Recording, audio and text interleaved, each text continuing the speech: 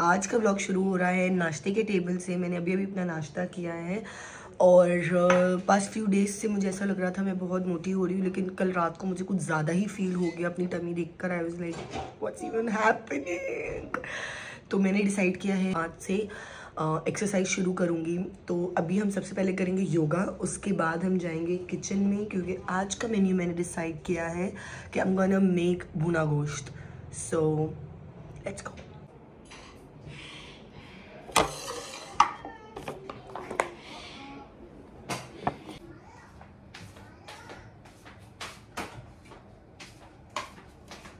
इतना तो मुझे जल्दी जल्दी प्याज छील कर दे दो ना मैं हांडी चढ़ा देती हूँ। तीन छील दो मुझे। सनलाइट कितनी प्यारी लगती है ना। आई जस्ट लव इट सुबह इनको यू नो इस तरह देखना। बहुत बहुत प्यारा लगता है।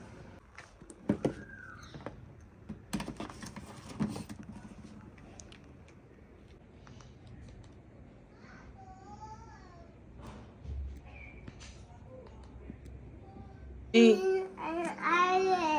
जी। आनी आई है। अच्छा जाओ आप अपनी कार से खेलो मम्मा थोड़ा योगा कर ले ओके? मम्मा थोड़ा योगा कर ले?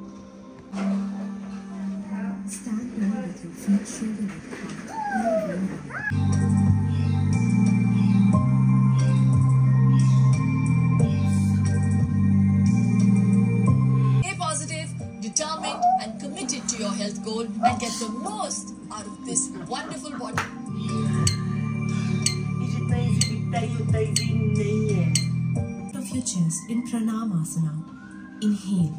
Raise your arms to the ceiling and arch your back as per your flexibility and come into Hasta Uttta hands. Lower the hips, the thighs engaged. Contract the abdominal muscles by pulling in the navel towards the spine. On the floor with both legs outstretched, spine straight. You can sit in an Ardha Padmasana or a half lotus pose if there is any discomfort in the knee. Your palms should rest on the floor near your hips. Inhale here. Exhale and hips and legs off the floor. Hold this position for 10 seconds. Think of pulling the legs towards the then lower your hips, release your hands and then your legs. Try to relax your face and neck during the pose Lift only the hip and not the legs to make it easier. Do not do lotus pose without guidance if you have knee pain or knee injury. Come back to the starting position. पूरे दिन में जो है ना मेरी कोशिश होती है कि मैं एटलीस्ट ये से डेढ़ टम्बलर पूरा पीऊँ so that I stay hydrated all day apart from this past few days Junaid की तबीयत is not setting up and उनको काफ़ी ज़्यादा बॉडी में पेन है, उनकी you know he is being very cranky and all और things are not happening like too too good so and very मतलब मुझे बहुत यकीन है सूर्य बकरा पर। काफ़ी दिनों से मैंने अपने घर में सूर्य बकरा नहीं लगाई थी। तो आज जो है हम किचन में साथ साथ काम भी करेंगे और हम जो है वो सूर्य बकरा भी सुनते रहेंगे ताकि all the negative energy that is going around in this house वो सब चली जाए।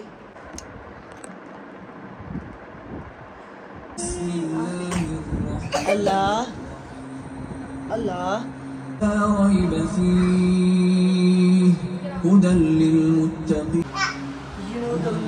Reason I don't blog so much is because scarf पहन कर किचन में आना, काम करना is not easy is right बहुत मुश्किल होता है, गर्मी अलग लग रही होती है। रूहान ना मुझे कोई काम नहीं करने दे रहा समझस को ना give him some message play so that मुझे कुछ काम करने दे।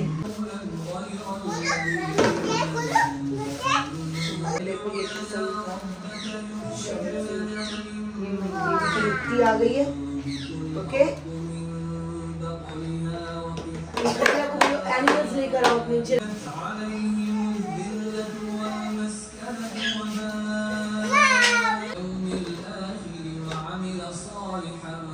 यू डोंट नो ये मेसी प्ले होता है and this is a great great learning for kids you guys साथ साथ लॉन्ड्री भी करनी है।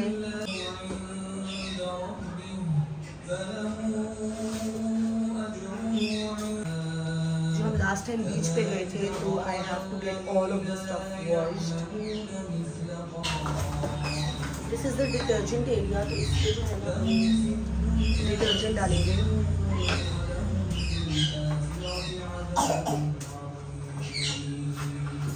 इसके ऊपर हम फैला के भी डाल देंगे।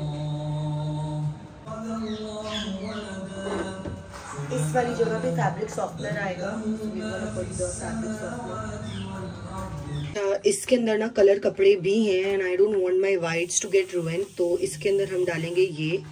इससे क्या होता है कि आपके अगर कलर एंड वाइट वाले कपड़े हैं ना तो वो कलर पकड़ता नहीं है। ये ट्राइड एंड टेस्टेड है सो so, इसका लिंक मेरे दराज पर है बट मैं अपने डिस्क्रिप्शन बॉक्स पे भी अगर मुझे याद रहा तो मैं डाल दूँगी।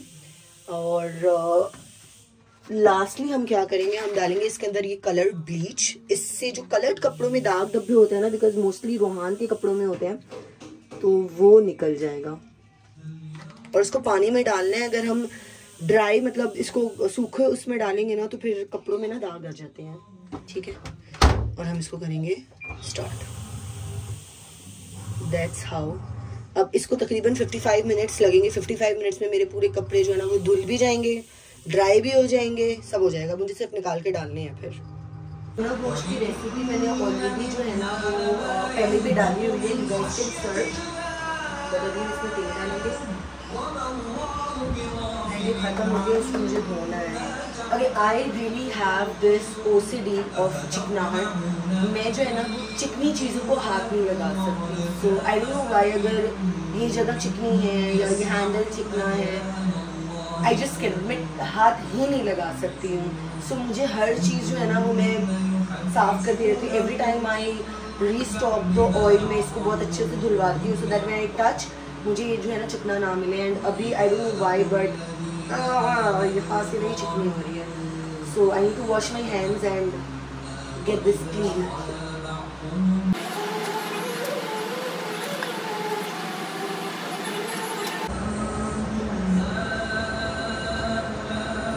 अच्छा गरम मसालों के बाद में हमने इसमें प्याज काट के डाल दिए और अब हम प्याज को थोड़ा सा फ्राई करेंगे। एंड आई जस्ट चेक कि भुना गोश्त की रेसिपी मैंने नहीं डाली हुई थी तो मैंने कहा मैं आपको डिटेल में दिखा दूँ और मुझे डिटेल में नहीं दिखाना था। अच्छा प्याज जो है ना, वो हमारे हो गए हैं। इसमें हम डालेंगे बीफ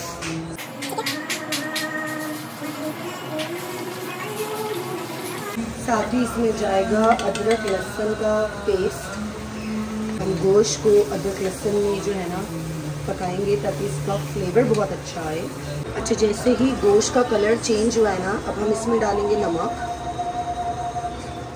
लाल मिर्च। हम कम स्पाइसी खाते हैं तो कम लाल मिर्च डालेंगे। हल्दी। धनिया पाउडर जाएगा इस पर ज़ीरा पाउडर जाएगा इसमें। थोड़ा सा पानी डालेंगे ताकि मसाला जले नहीं। एंड इसको हम अच्छा सा स्टर करेंगे। स्टर करेंगे स्टर करेंगे। अच्छा अब इसमें जाएगा टमाटर।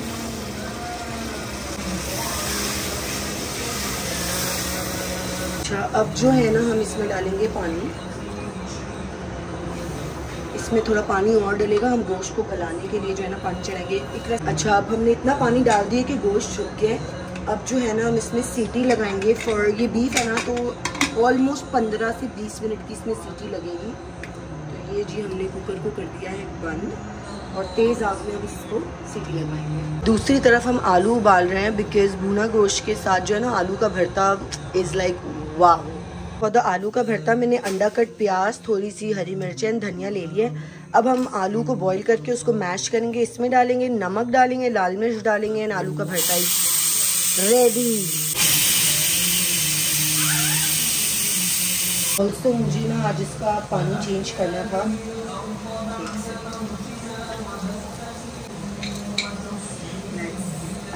Water. फिर मैं यहाँ तक इसको भरना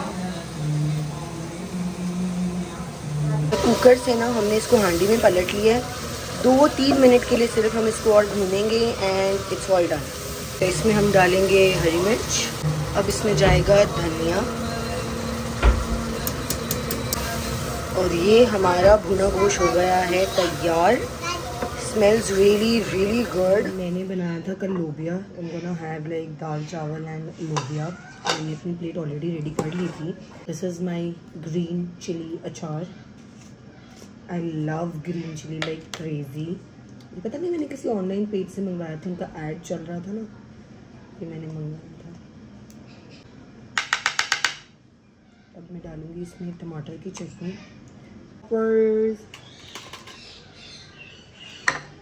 I love it.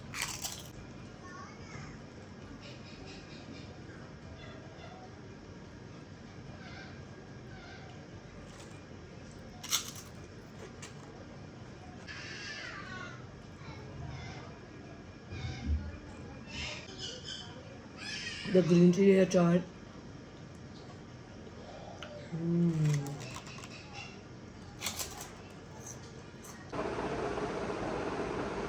यार ये तो अंदर तो सिग्नल आने लग गए जिससे वो देखो फ़ोन मिल जाता है अच्छी बात नहीं उनका फायर वॉल जो उन्होंने बंद किया था हो सकता है वो ठीक हो गया और हमारे घर सिग्नल्स आने लग गए जिस गॉट फ्रेश अब जो है ना मैं अपना दोपहर का आफ्टर शावर स्किन करूँगी मैंने लगाया है ये rice milk toner from organic traveller और मेरा फेवरेट ब्यूटी ऑफ़ जिसान का glow serum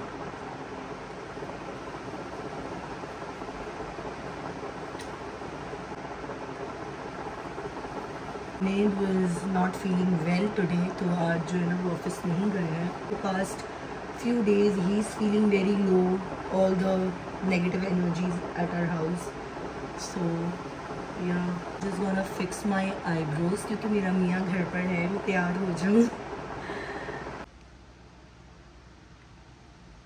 so I apply some perfume वैसे ना मैं जब घर से बाहर निकलती हूँ ना तो मेरी कोशिश होती है मैं ना लगाऊँ फॉर इस्लामिक रीजन्स लेकिन जब मैं घर पे होती हूँ ना then I do apply perfumes Junaid के लिए जो है हम फटाफट से बना लेते हैं उनका फ्राई एग।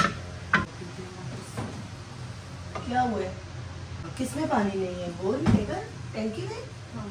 टैंकी में तो बोल चलाएँगे तो पानी आएगा। नहीं खींच रही है water pump I just noticed के अंडे ख़त्म हो गए हैं और हमारे दूध वाले ने कहा है कि वो आज लेट आएगा सो अंडे जो है वो शाम को आएँगे। सो अभी मैं सिर्फ़ जुनेद को चाय दे रही हूँ और मैं शाम को इनको जो है ना कोई फ्राइज व्राइज बना दूँगी।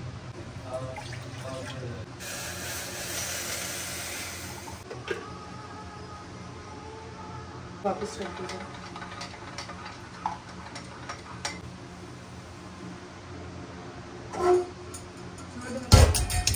ये रहने दो बाहर। ये क्यों आज साफ़ नहीं हुआ यहाँ से इतना ये गंदा क्यों हुआ है?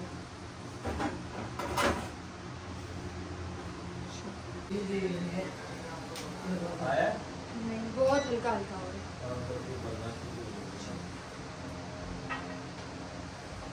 इधर इकरा बना रही है फ्राइज़ ये इसने जो है ना फ्राइज़ का सामान रेडी कर दिया है सारा। कॉन्फ्लोर लगा दिया है इसमें तो हम जो है अब इसमें फ्राई बनाएँगे। वाह तुमने ये भी निकाल लिया। वेरी गुड एक ज़बरदस्त। बस अब हम फ्राइज बनाएँगे। अस्सलामुअलैकुम। नहीं सोना, उठ गए हो। कलमा पढ़ा था है? कलमा पढ़ो पहले। दुआ मांगो और कलमा पढ़ो जल्दी से। पहले कलमा पढ़ो। आमीन करो। रैक में से अपने शूज़ ले लो। हाँ शूज़ रैक में पहनो।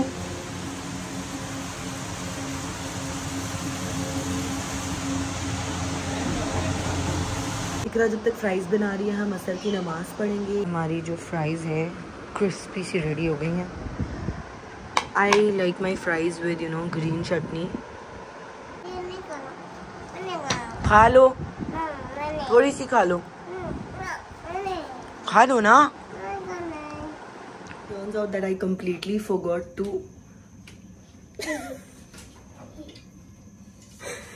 I completely forgot to record blog में भूल गई थी कि मैं आज ब्लॉग बना रही हूँ so, अभी जैसे कुछ खास मैंने किया नहीं है बस रोटी बनाई और अब डिनर लगा रहे हैं। इधर आओ ना मैं तुम दिल गर्म कर रही हूँ। अगर ये दोनों बाप बेटा मुझे जा रहे हो कि नहीं जा रहे? तंग कर दिया मुझे दोनों ने। ये देखो ज़रा। दोनों मेरे को मारने की प्लानिंग बना रहे हैं। ये देखो भी आएगा मुझे मारने। ये देखें भी आएगा। इधर आओ ना तुम जरा। इधर आओ ना तुम जरा, मैं तुम्हें बताऊँ, इधर आओ ना। पर आखिरी साँसें ले रहे हैं तो मैंने कहा, सारी इकट्ठे डाल के सारे बना दूँगी।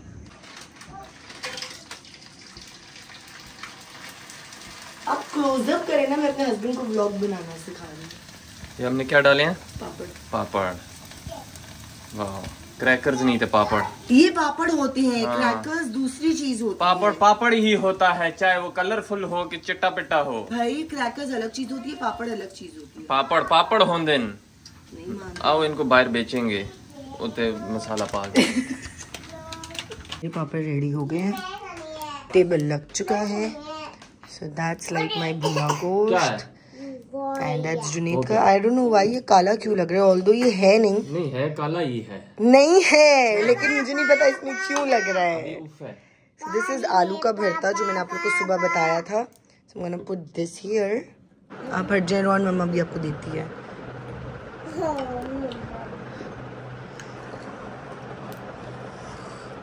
क्या खाओगे? इसमें एक और कटवी पक जाए चला इलाहा इल्लल्लाह मुहम्मदुर रसूलुल्लाह चलो खाओ डिनर करो अपना।